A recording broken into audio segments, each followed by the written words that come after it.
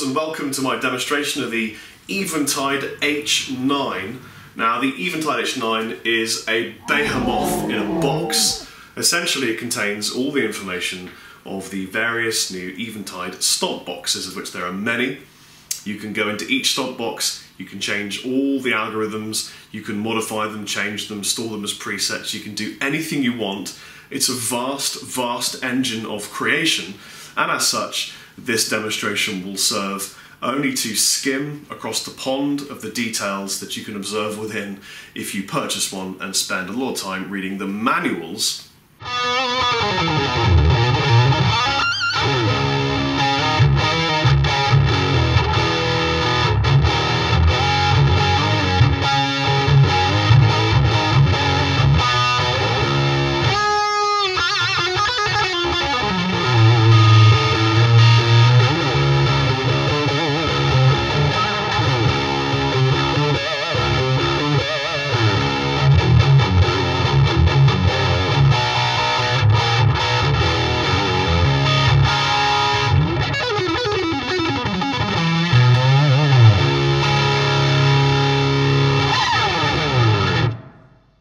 Talking of manuals, it comes with two of them. Let me show you what you get in the box.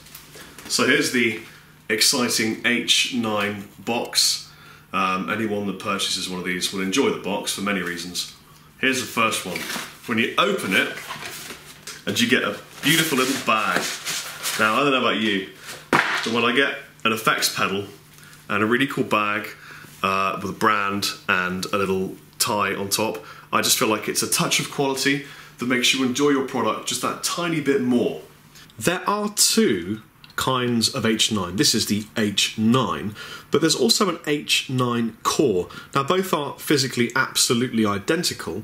The difference is that the H9 comes with nine very popular effects algorithms, and the H9 core comes with one of the algorithms. There's also a difference in price, of course, with the H9 core being £100 cheaper than the H9. I guess it's also worth mentioning that you get a free algorithm coupon with either of your chosen H9 pedals. Hi, my name is Rob Chapman, and this is Patch 85.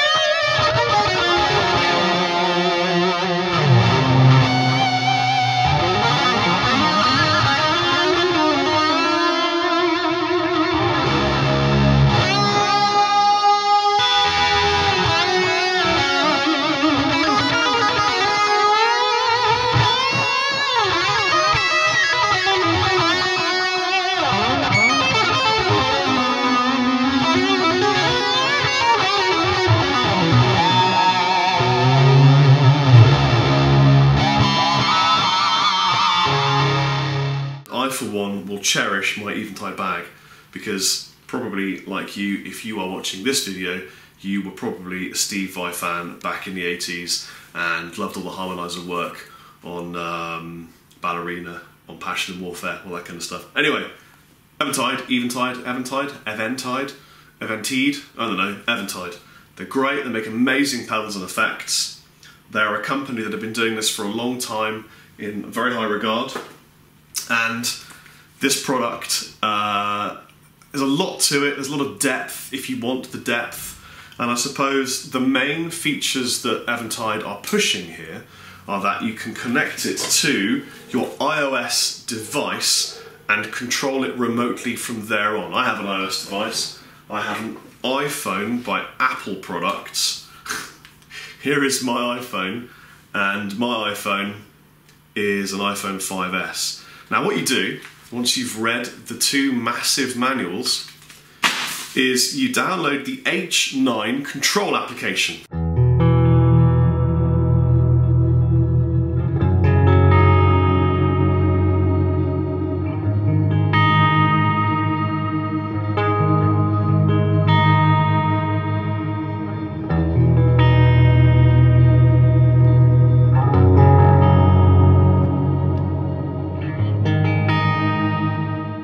Here's my iPhone, here's my various apps and my games, and here's the H9 control, which if I touch it brings up the app, which is very slick.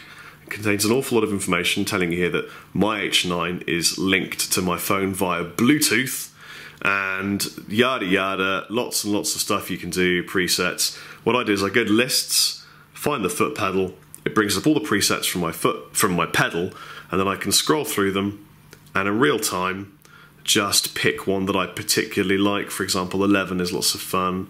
Uh, I made a list, actually 25 is awesome because it's a nice tremolo. And as I scroll through these and select them, it literally changes them on the pedal. So I've gone for the classic crystals here. If, camera lady, we go to the foot pedal on the floor here, you'll see it now says number 11, classic. If I now touch my phone to 17, it changes it to 17. See, that's magic. So here's 11, which is classic and it's crystals. And if I play the guitar, it sounds a lot like this.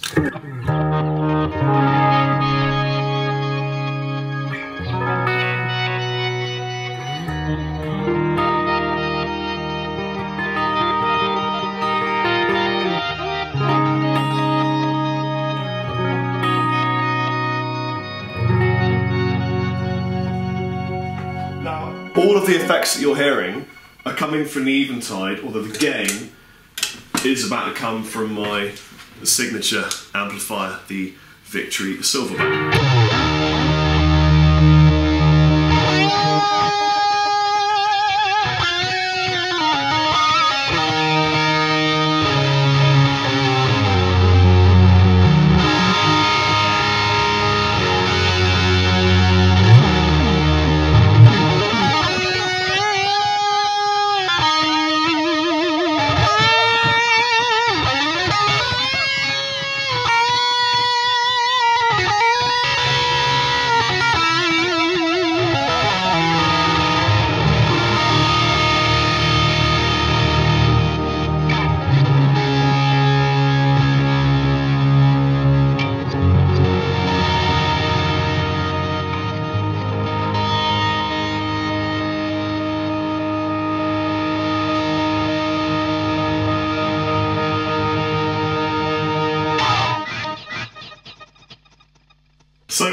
There is a lot of the kinds of effects that when you listen to and start using, you immediately start writing and creating tunes. It makes you tend to play in a more creative way, and I can't quite explain why, but it does. The presets you scroll, when you get a pedal this, you get the presets, you go, go through all of them with your foot, and you listen to each one, and you jam in them, and it's two hours of jamming through presets. And once you've kind of got over that, which is why you write a list of presets like this one on the floor here. Those are my favourite presets, next to the T. What you then do is you go into each one and change them and store them where you create your own and have lots of fun sort of expressing your own self through discovery and making your own patches or you might just really like the sort of the presets it comes with and use those yourself. Here's how you do that without the app to begin with when you buy the box and you've got the pedal plugged in and you just want to play literally, you take your foot. Now, any foot will do, but I like to use a right foot to begin with because I find that easier. And you make sure either your preset button is pressed or not.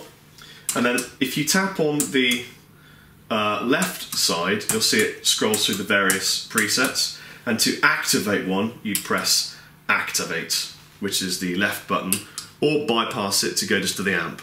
So now it's active. Here's how this particular patch sounds. I might want to go to a different one, so there's 19, and it's active. And I've got a funny kind of reverse delay that I'll never use. Do another one. Uh, this is a tape type delay.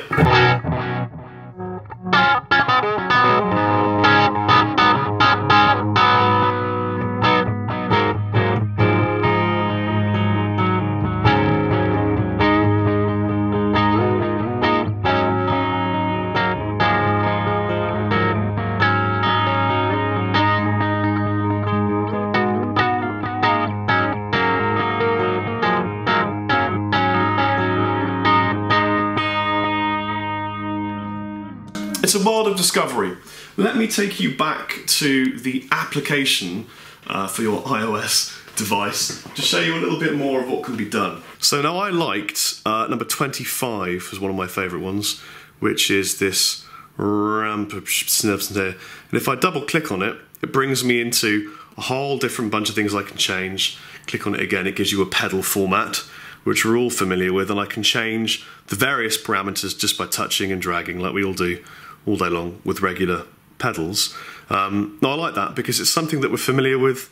It brings it from the app world into something that you would do. This is really cool for a studio, especially if you're just on the fly engineering or producing a sound. Maybe you're reamping and you've got a loop that you're just affecting and changing. This is very useful. Let's just alter it now. So we'll increase the depth modulation and the speed and we'll change this and that'll do. Let's have a listen now.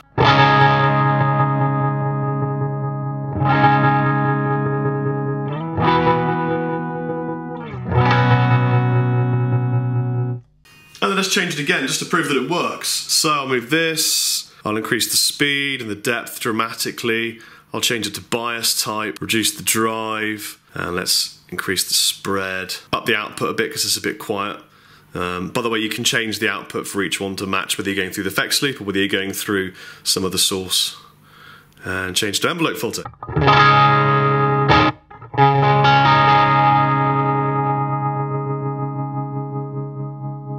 That's quite nice actually, it's quite a pleasant patch.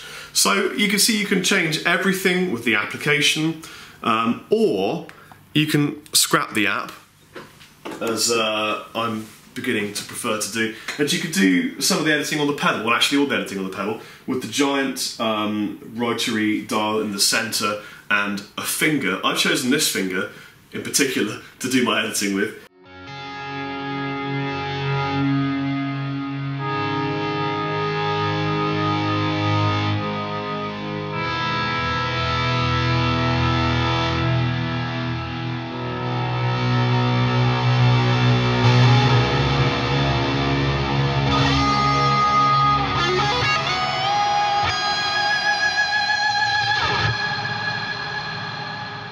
So I've chosen patch number two, one of my favourites. It's called Ballerina, and it gives you that classic kind of Queen type vibe.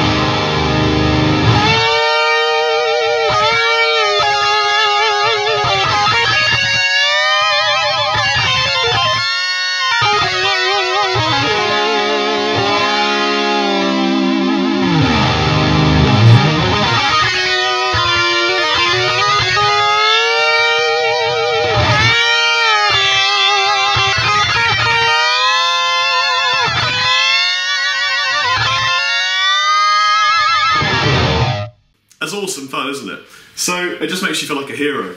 So if I want to affect this on the Eventide box, all I do is they've got these three buttons here with the various different elements you can affect, or you can press and hold and go into a slightly more advanced section. So this is, for example, the mix. I'll dial that down and have less of it.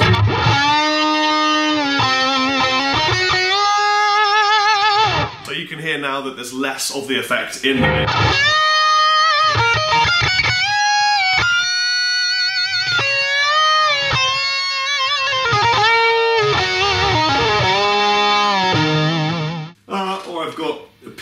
The, the amount of pitch, the kind of pitch.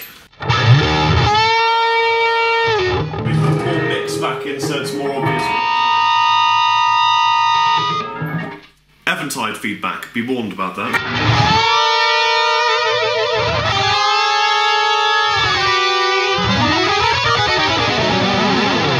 Suddenly it's been like Alex Skolnick back in the 80s and Dragon's Kiss. So this is the pitch.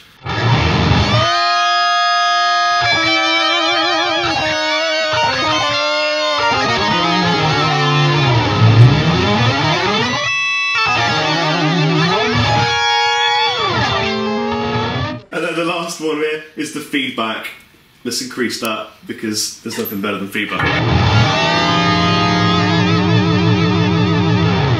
You can simply affect things there. You can press and hold to go to a more advanced list, but it's much easier on the iOS device, iPads, uh, Macs, iPhones, that kind of thing.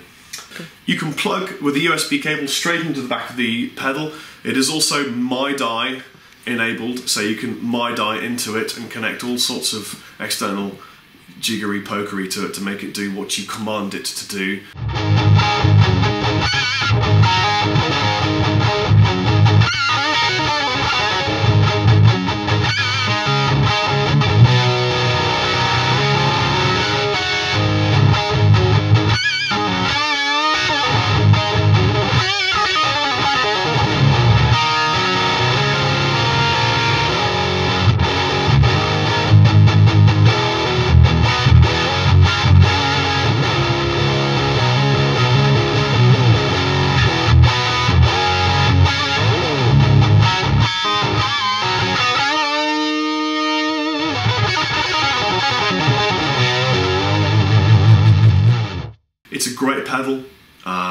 Exciting effects and tones, and it's really, for me, it's a studio tool more than a live tool, but it's a very useful tool. I've been Rob Chapman. Take it easy. Chappers out.